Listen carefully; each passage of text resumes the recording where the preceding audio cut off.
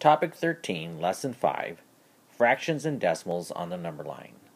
Well, so far you've learned to locate points for whole numbers on a number line. In this lesson, you'll learn to locate points for fractions and decimals on a number line.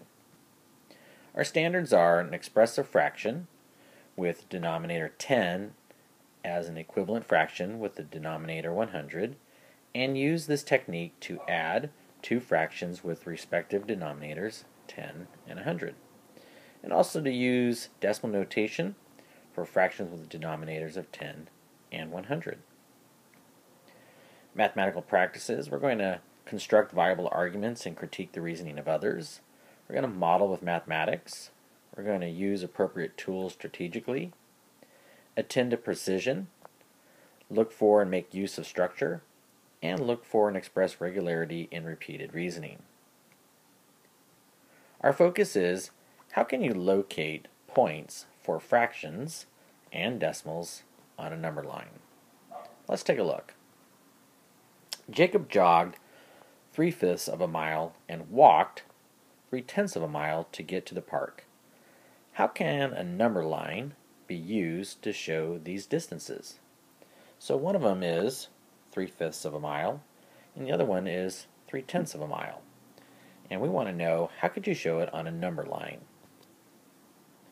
Let's start with 3 fifths.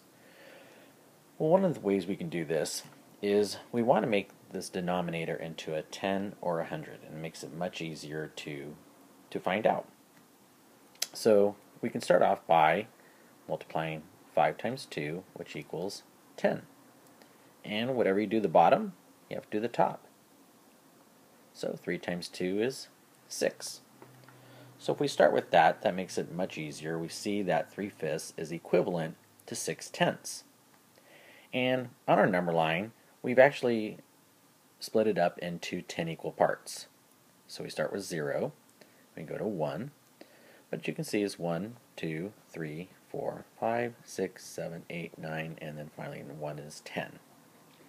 So now we can actually go ahead and mark it. So if we know there's 6 out of 10, we can go start at 0 and go 1, 2, 3, 4, 5, 6. So that's the same place as that. And since we know that, it actually can be made into a decimal. So 6 tenths is the same as 6 tenths. And another way of looking at this, we actually could go ahead and use the number line and turn it into a rectangle. And notice this, if we go ahead and split it up, right down where the lines are at, and we can color in what we need. We have one, two, three, four, five, and six. So we definitely have our 6 tenths. So since this is 1, 1, 2, 3, 4, 5, 6, 7, 8, 9, 10 parts, and 6 of them were colored in, we have our 6 tenths, or 6 tenths. So you can put it either way, a fraction or a decimal.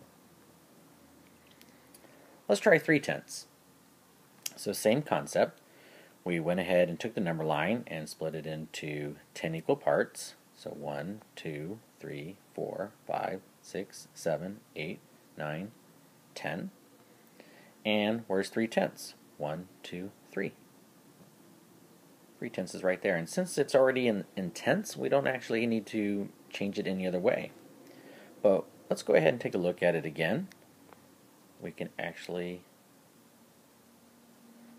divide it just like we had a picture here. So we go ahead and divide it up into 10 equal parts. And we only need one, two, three. So our answer is 3 tenths is on the number line right here. And you can put it in decimal form, 3 tenths. It means the same. Alright, I want to try 4 ninths. Pause the video and see if you can find 4 ninths on a number line. Good luck.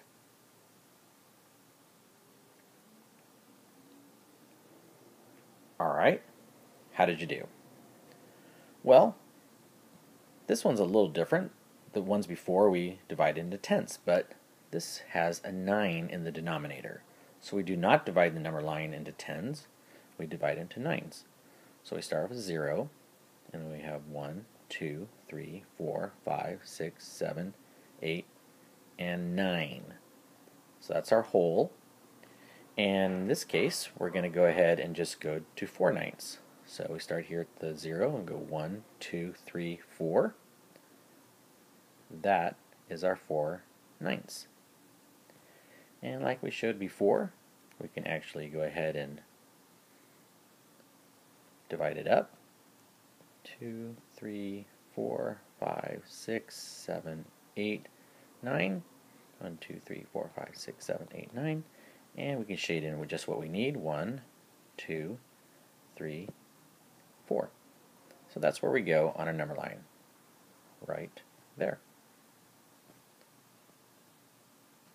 All right. Well, now try some on your own. Good luck.